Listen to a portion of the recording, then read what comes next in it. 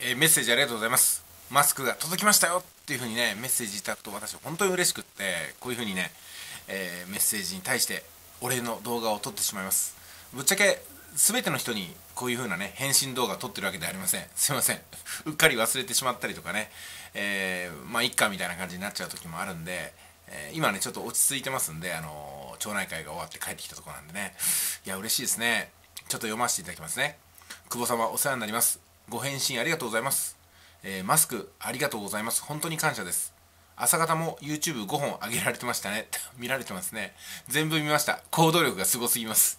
ありがとうございます。限定の動画。ね一般には見られない動画を20本ほどプラスで上げてるんですよ実は。これからも応援しています、引き続きよろしくお願いします。ということで、えー、N さんですね。N さん。ね N さんから頂いております。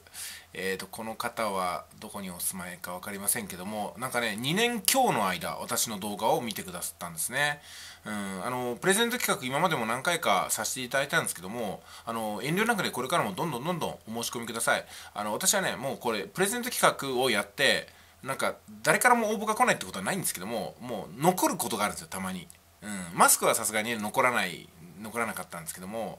うん、なんかねいろんなね、うん、プラモデルプレゼントとかねえ雑誌プレゼントとかなんかそのラグをプレゼントとかねいろいろやってるんです全部新品ですよ。全部新品なんですけども結構ね外すことがあってなんかあのうんまあでも本当にねお申し込みいただければ私はあのもう損得抜きっていうかねそういうのではなくて、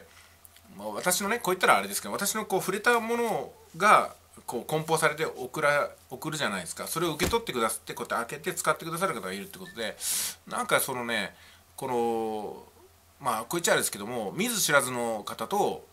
なんかね一歩二歩近くなったような気がするんですよね。私は普段隠居生活って言って人と何かやってるわけじゃないんで、まあ、こういう風なねおせっかいしたくなっちゃうんですよね、うん、はいまあこれからもねあの動画の方も上げていただき上げさせていただきますしご覧いただいた方の何かお役に立てるようなことをねやっていきたいと思います、うん、まああのお役に立たないこともやってるかもしれませんけどもそこはちょっとご容赦いただいて長い目で見てください。えー、もう長いですね。2年半も見てくださった本当ありがとうございます。それではこれからもよろしくお願いします。